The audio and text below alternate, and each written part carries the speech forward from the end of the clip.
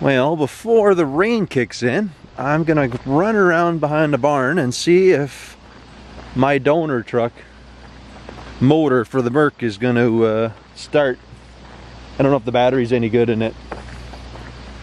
If it is, hopefully I can drive it through all this mud and uh, I can get the motor and trans out of that thing before the rain comes.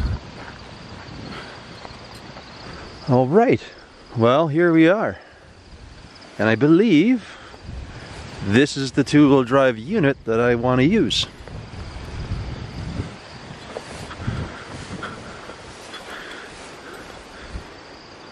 Looks like I can get it out.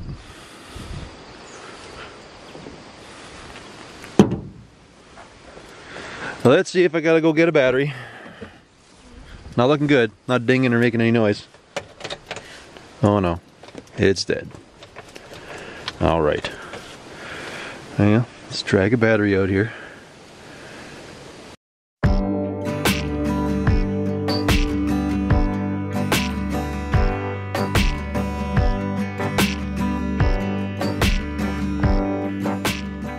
I guess the kid's already got his cats off of here, eh? we also got flat tires in the back, but that's not relevant because they're not very good. First I thought they were good, but they're not. Flat tires and all.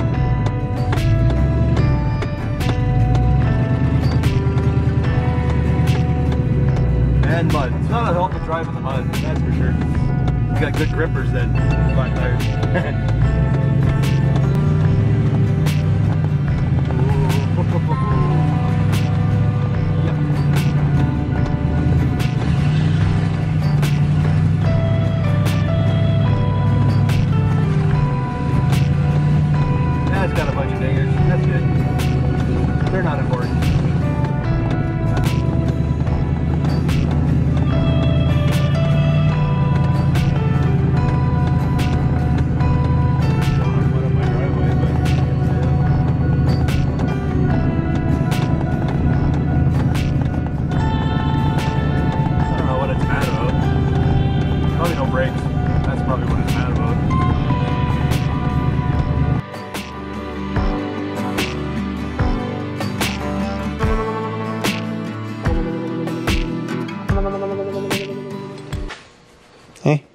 you're all nice and wet. Good job. All right. Well, I think I've sourced a bunch of parts for this locally on top of that. So that is like a huge bonus. Uh, because he's got my suspension, some of the brake parts I'm missing. Uh, yeah, like super win. I got to make a bigger list. I got to go see him on the weekend, and hopefully uh, I can pick up all the parts so I can get the brakes all together on this thing. That would be awesome. See what lovely stuff we're working with. I tried boosting it. The other battery was too dead and it wasn't working, so I had to switch batteries. But it looks like usually it's written on something somewhere around here. Well, what the hey? The tag is gone. Let's say it's a. Oh, is it up here? Nope. Refrigerant, belts. Okie doke. Never mind. I don't know what it is. When I get in the computer, it'll tell me. But I'm really leaning that it's probably a 4.8 with a 60E. So, a whole lot of wins. Uh, yeah. I the way I'm going to take this off is I'm just going to lift the body off. That's really to me is the fastest. Then it's easy to get the motor. Otherwise, it just things just don't jive up in the front. Then you got to take the front end off or do all kinds of weird stuff. To me, usually if the bolts come out anyways, it's easier because then it's like the six bolts, the steering, just cut the brake lines. I'll pull that off, the shift cable off, and uh, cut a couple hoses and a few little wires, and we're good to go. So, I don't know, see what happens here.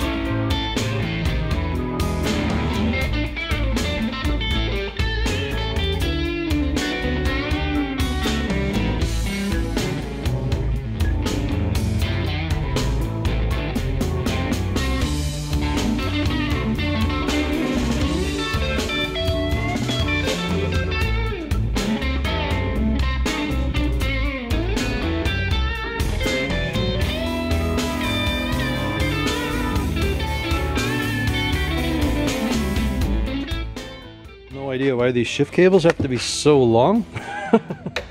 this goes down and then does a big loop around underneath the truck yet. It's bananas. So we got that loose. I'm gonna grab the, uh, the gas pedal yet. And uh, I think now I just gotta undo all the body mounts and then, don't get me wrong, you can run it through the front of the truck and take it out like a normal motor, but for me it's easier because the exhaust manifolds get in the way, amongst other things. And uh, this one does have broken studs already. Hmm. I don't know if it's faster. I don't think it's any faster to take it out the front. I don't know. We'll keep playing with it. If the body mounts come out super quick, I'm still gonna lift the cab off. Just make my life easier. At least I feel that is. Because I have the equipment to do it, that's why I'm doing it.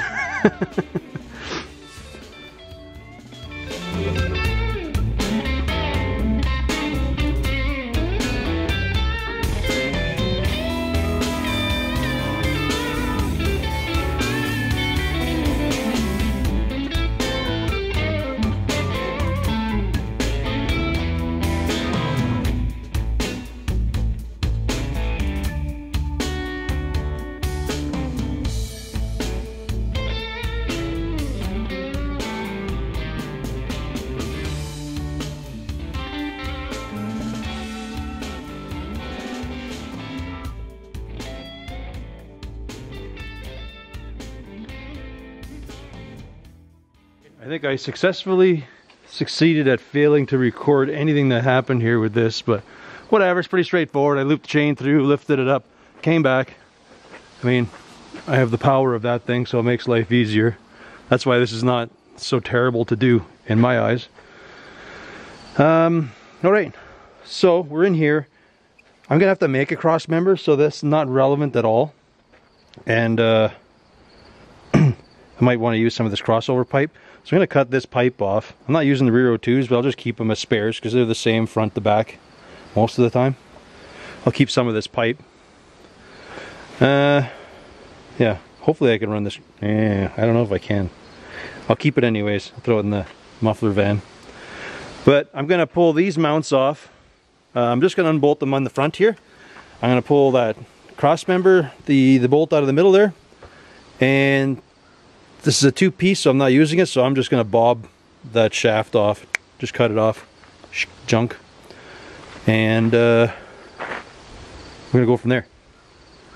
Well, then I'm gonna use a tractor, pull this out, put it in the shop, so at least it's here. Might do a quick mock-up, see how it fits. And uh, then I can dispose of the rest of this truck here. Oh no, I'm gonna need possibly the fuel pump and stuff like that. So I might have to pull the box yet or I'll just drop the tank. I think I'll drop the tank. I want to keep all the fittings so I can reuse all that stuff. Yep, yep. A la budget build.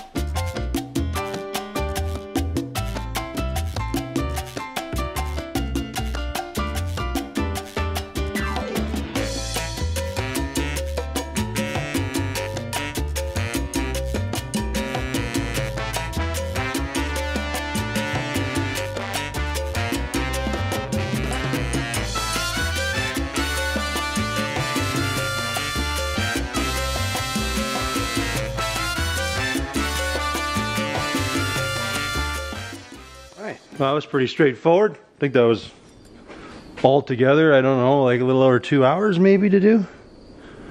Uh, so, did this differently. I grabbed all the fuel line.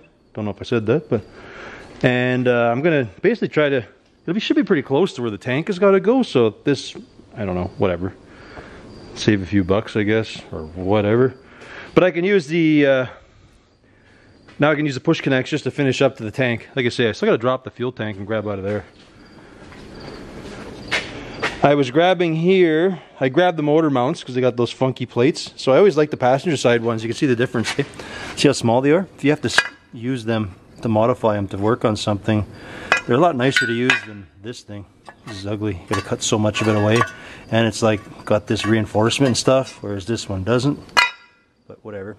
But I always want to take them out because they got the long bolts which we use to hold the forks on the tractor always. So I did that and then I was always wondering where we got these nuts from, but it turns out this brace has the right pitch of thread for those. So, so I grabbed that. I just gotta go grab this computer mount yet. And then uh, I think we're good. I think I'm gonna take the cab and just set it back onto here. But uh, then I can go throw it out back when it dries down or dries out. I might lift it up and drop this fuel tank yet just so I can uh, grab the sending unit and stuff out of it and the fuel pump. Whatever I do on that one, I'm, I can't source a tank. Rock Auto doesn't have a lot of parts, so I might have to modify a different fuel tank to work in it, which is fine. I might try uh, like an old Ford van tanks, the fuel injected years. So maybe take the spare tire out. I can probably put that in there and then I can just it, the pickup everything on there is already for a fuel injection so I can just probably scab this fuel pump onto it and then the guy should be good. Alright, well, let's get this thing out and uh, then I guess we'll come back and maybe just try to do a quick slide and see how this thing fits. Should fit good, but I would think it does. But what do I know?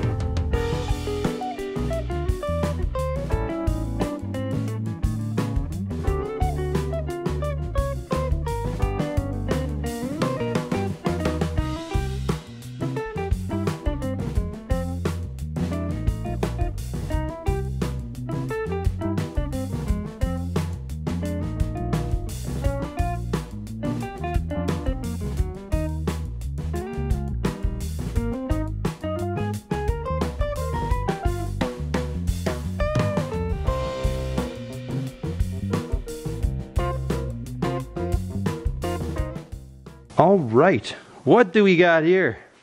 This fits pretty good. Motor's got to go back some more because it's on the full lock with the steering. She'll hit the oil pan. So I guess if I have to notch the pan, but I don't think I need to. I think we're good. And it doesn't hang very low under the cross member, so, and I'm not dropping the car anyways. You can see I got some room to go. I think I got enough to make clearance. Uh, motor mounts will be a little interesting. I might have to scoot them ahead and then I can kind of reuse those things. I have it just sitting on the way he did before, just mocked up in there.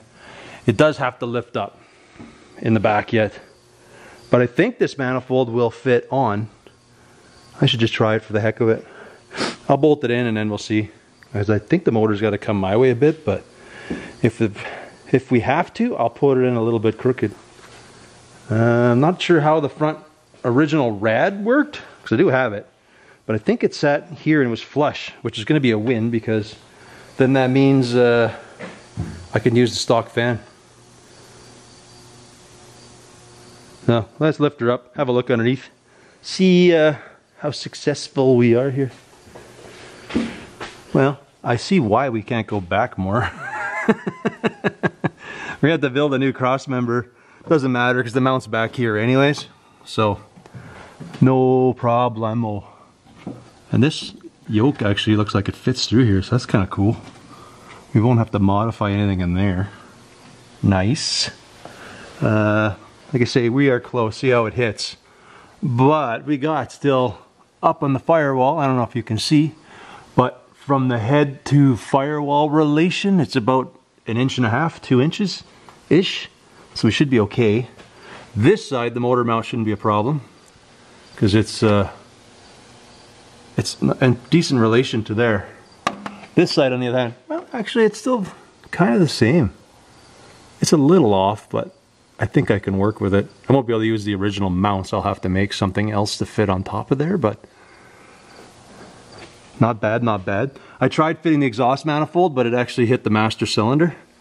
It was uh, tight against there. So I might try some, look for a set of headers or something. Not that I'm a, I'm not a headers fan, but unless I cut the manifold and twist it in, yeah, we'll see. I'm gonna pull this off. This thing looks like a heck of a lot like the one I just put on the Jeep. I wonder. I have a rebuild for it though, but I wonder if this other dude has parts. I'm just gonna put new stuff on if he's got. That would make life easier. So we got there, there. This transmission can't really go up. If anything, well, that's just that. That's probably as low as I can go with the transmission. So I might have to come down a little bit with the motor, but that's not bad. I think the motor's sitting a little high up in the front. But we got room, because they're sitting on this block here. So we got room, we can come back, we got room to go back. We just gotta work on the exhaust, figure out Z brakes.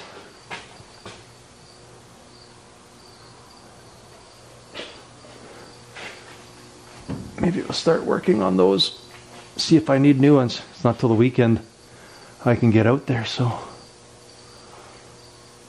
and then uh, we'll start on the body. So under here, I've kind of murdered the fuel lines right now. But if we loosely hang these up, if I can funnel this stuff through, this is going to work pretty nice because that'll probably put the stock fuel system here somewhere to which I just got to finish it out to a fuel tank of some kind to which I should start looking at the order and things. The rest of the car is actually pretty nice, other than, you know, the inner and outer rocker bits. Well, you know, some minor floor stuff. we can deal with that.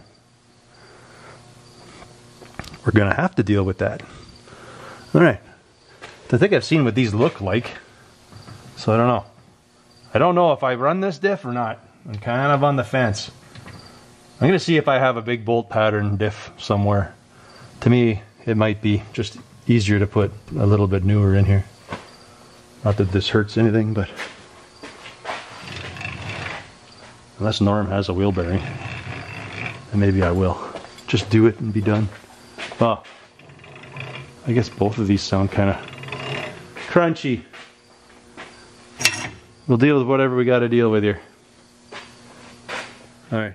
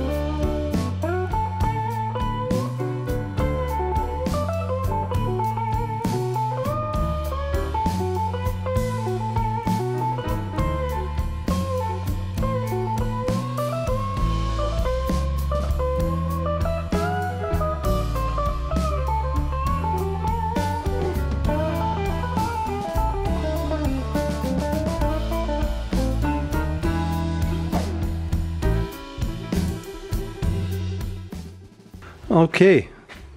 Well, it's been honed. It's not terrible inside, but the like I don't feel anything even though really hard to see on camera. Yeah, it's too hard to see. But she looks good. I can't feel it. It looks like there's some pitting in there, but I don't know. I got the top part all clean. I might try to bench bleed it and just see what it does if it starts to seep or not, but I think it should be okay. I'm going to uh, grab that master cylinder, that rebuild. I think that's this one. Yeah. And I'm super guessing it's for this car. Might have gone through all the effort for nothing, but uh, anyways, I'm going to throw this in there and uh, we'll see if she works.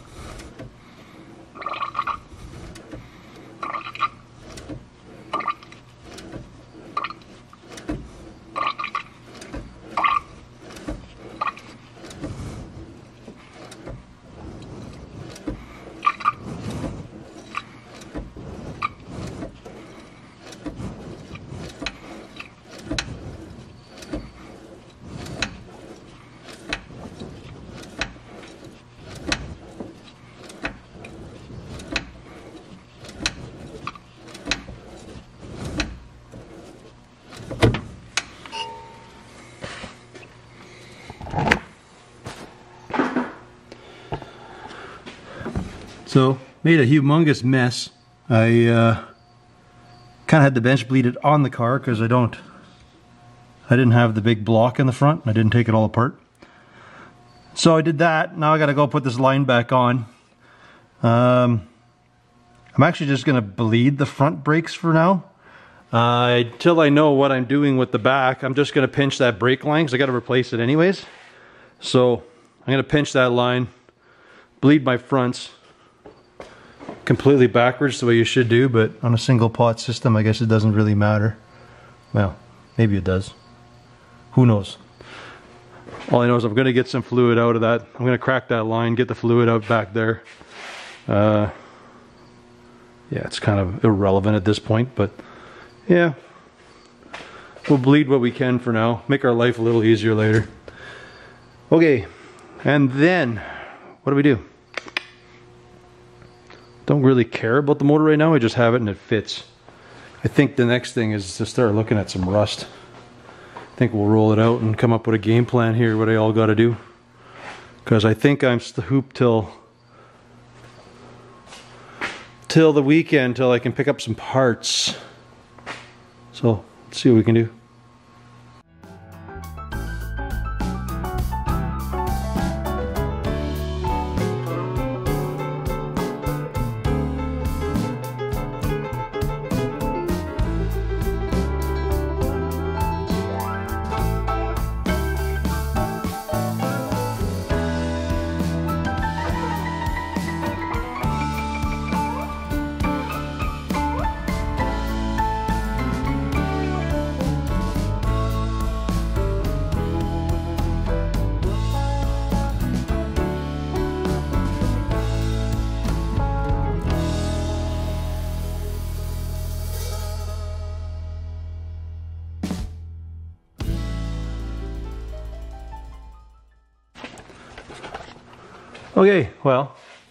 We have front brakes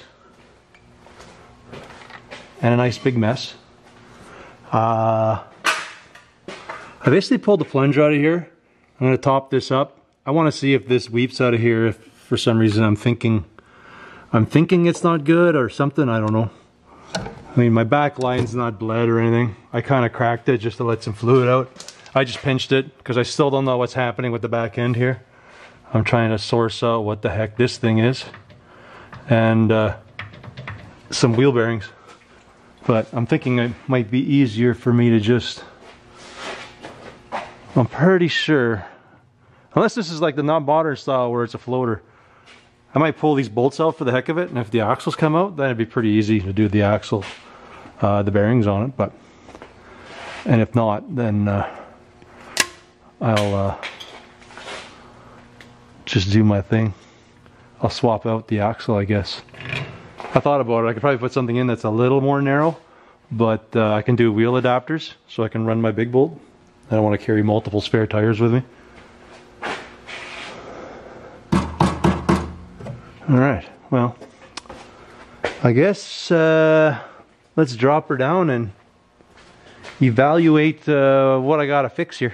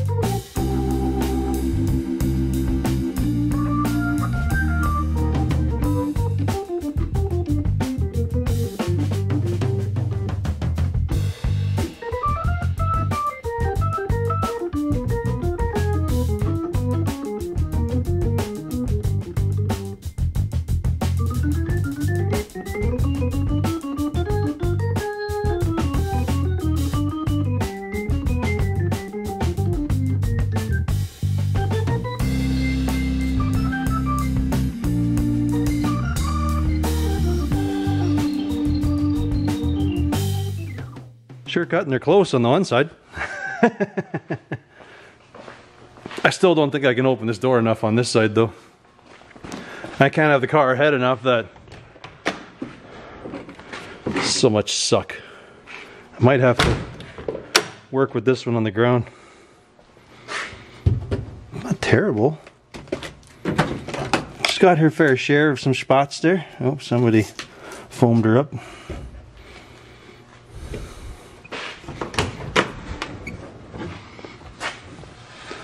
Over here we got some. Comes up here into this floor section. The toe boards are good. Here's not bad. I know it's going to be bad when we take these off.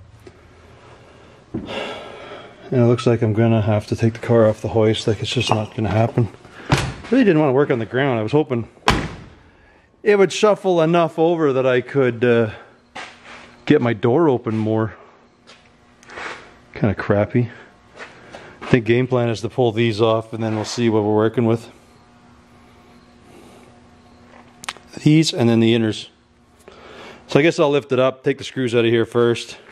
Then I guess I have to drop it, roll it ahead so I can see what's going on inside the rockers there, but we'll start on this side and then we'll look at the other side after.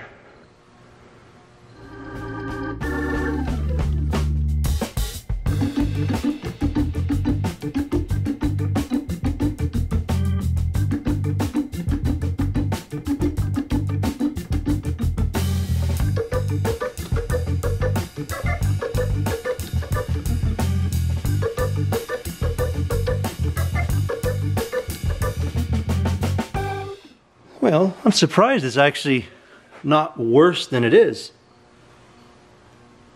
It's gonna have to get cut off. It's got a weird double inside, and I don't know what that's about. Like it's got a weird double panel in there. So I might not worry about the one panel and I'm just gonna focus this one and butt to the outside panel. I think that's just all I'm gonna do. The inner one I'll just trim back it doesn't seem to be necessary. I don't know why. That seems weird, eh? There's, it's like it was a double walled channel inside of there. And then we gotta do some floors. So I don't know. I'm gonna do the rockers first. I mean, these would be way easier if I took the doors off. But there's no way I'm gonna get those doors back in the same place that uh, they'll open and close as nice as they do.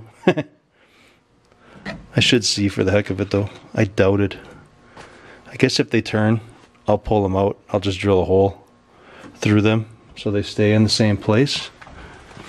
But my luck in these hinges never seem to work out, so.